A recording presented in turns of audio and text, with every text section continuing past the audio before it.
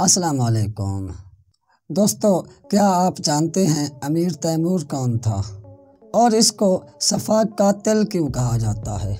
दोस्तों, आज की इस वीडियो में हम आपको अमीर तैमूर लंग का एक छोटा सा तारुफ पेश करेंगे और आपको बताएँगे कि अमीर तैमूर लंग कैसे इतनी बड़ी सल्तनत का बानी बना और वो कौन था। दोस्तों अमीर तैमूर लंग, या तैमरलिन तैमूरी सल्तनत का बानी था। ये तारीख़ आलम का एक बहुत बड़ा जंगजू हुक्मरान था। तैमूर ने तीन साल की उम्र में कुरान हिफ्स कर लिया, यानी सिर्फ़ दस साल में वो एक मुकम्मल हाफिज कुरान बन गया था। तैमूर का ताल्लुक तुर्क मंगोल कबीले बरलास से था। दोस्तों, हमारी वीडियो को लाइक करें और हमारे इस चैनल को सब्सक्राइब करें। बल्कि चंगेज़ खान और तैमूर के जद अमजद तुमा खान थे। तैमूर लंग 9 अप्रैल 1336 ईस्वी में समरकंद के करीब एक गाँव केश में पैदा हुआ। यह इलाका उस वक्त चुगताई सल्तनत में शामिल था, जो उस वक्त जवाल पजीर हो चुकी थी।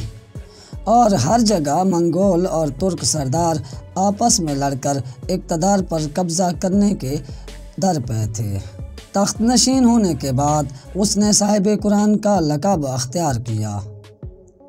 तैमूर ने अपनी ज़िंदगी में बयालीस मुल्क फतह किए। तैमूर का शुमार दुनिया के चंद नादर लोगों में होता है। तैमूर लड़ते हुए अपने एक हाथ में तलवार और दूसरे में कुल्हाड़ा पकड़कर दोनों हाथों से लड़ा करता था। ये उसकी एक बहुत बड़ी खूबी थी, जो उसे बाकी जंगजुओं से मुमताज़ करती थी। बलख में हुक्मरान बनने के बाद तैमूर ने उन तमाम इलाकों पर कब्ज़ा करना अपना हक समझा, जिन पर चंगेज़ खान की औलाद हुक्मरान थी। इसके बाद उसने फतूहत और लश्कर कशी का एक ऐसा तवील सिलसिला शुरू किया, जो उसकी वफात तक, यानी सैंतीस साल तक जारी रहा। तैमूर के इब्तदाई चंद साल, चौथाई सल्तनत के बाकी मानदा इलाकों पर कब्ज़ा करने में सरफ हुए। फिर उसने सात सौ छिहत्तर हिजरी में काशगर और सात सौ इक्यासी हिजरी में खारजम पर कब्ज़ा कर लिया। इसके बाद उसने खुरासान का रुख किया और सात सौ तिरासी हिजरी में हरात के ख़ानदान कर्त को इतात पर मजबूर किया। अमीर तैमूर के बारे में ये कहा जाता है कि ये शख्स एक सफ़ा कातिल था, क्योंकि उसने अपने सैंतीस साल दौरे जंगो जदल में लाखों इंसानों को तहते किया और कई इंसानों की खोपड़ियों के मीनार बनवाए।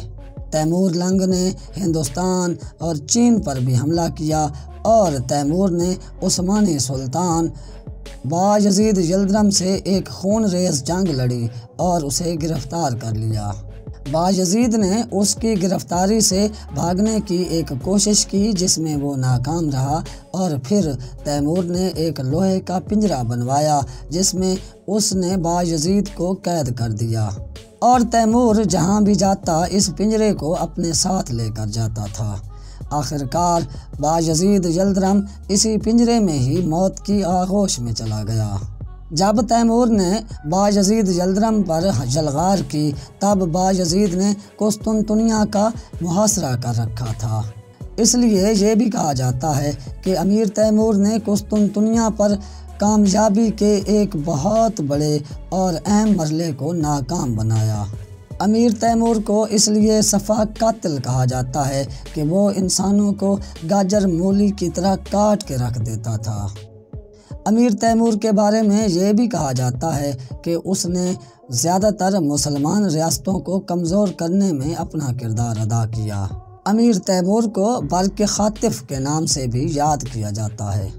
अमीर तैमूर की वफ़ात 19 फरवरी 1405 ईस्वी को उनहत्तर साल की उम्र में हुई।